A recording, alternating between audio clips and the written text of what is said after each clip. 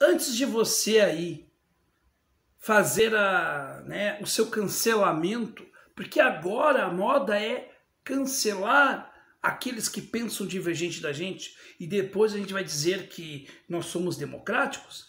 Antes de você fazer isso, eu quero que você pense, pare e pense e olha o que eu vou falar aqui. Tente analisar, tenta dirimir isto.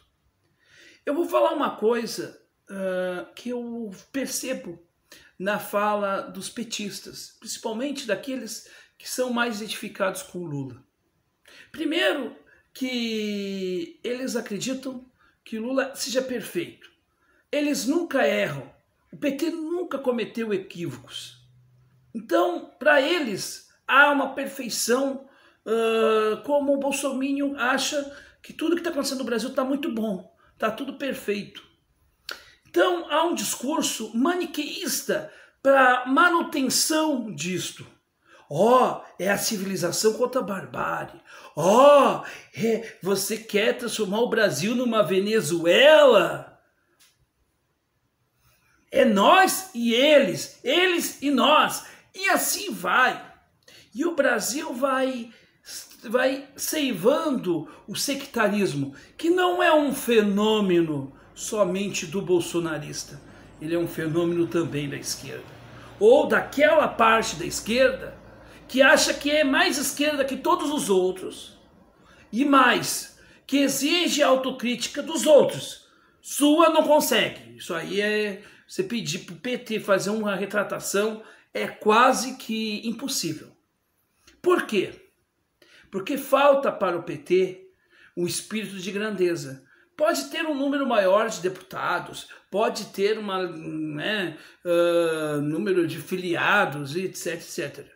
Mas não tem a grandeza de espírito para reconhecer os seus erros e respeitar o outro.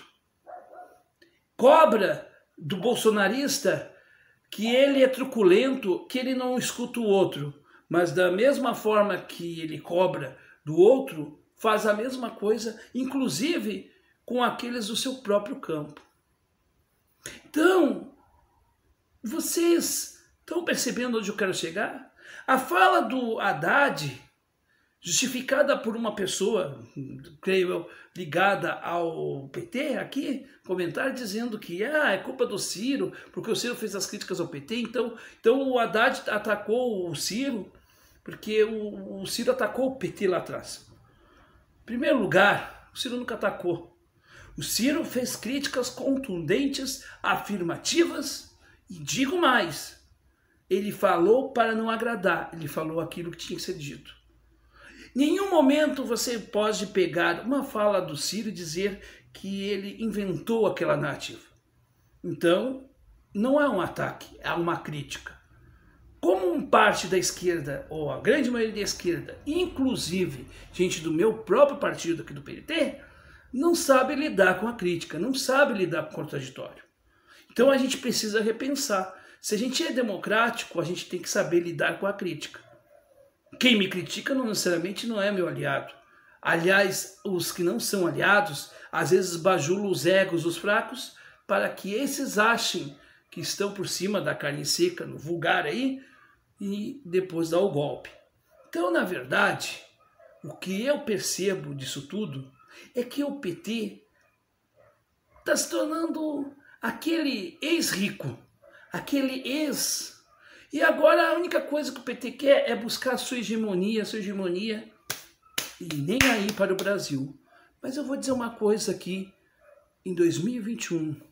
Em 2018, vocês entregaram o Brasil para o fascismo de Bolsonaro. Em 2022, se entregarem novamente para o Bolsonaro, vocês entrarão por uma página que nunca mais sairão. E não pensem vocês que a Vaza Jato vai dar um, um banho nos erros né, dos, das coisas tortas que o Lula e a base, né, a cúpula petista fez e faz. Ah, então, meus amigos, cuidado com a dor, com a dor de barro. E aqueles que nos atacam, cuidado, porque o seu telhado é bem de vidro. E digo mais: o Brasil cansou de vocês. Só vocês que não perceberam isto. Estão como bêbados, que ora falam alguma coisa que possa ter algum sentido, mas no fundo não deixam de ser lamúrias e fala de bêbado, quem é que leva a sério? Então eu pergunto, quem é que leva a sério hoje o Lula e a cúpula nacional do PT? Nem os filiados do PT, e eu conheço muitos, tão levado a sério Glaze e esta gente toda aí. O que, que eu posso fazer, né? É isto.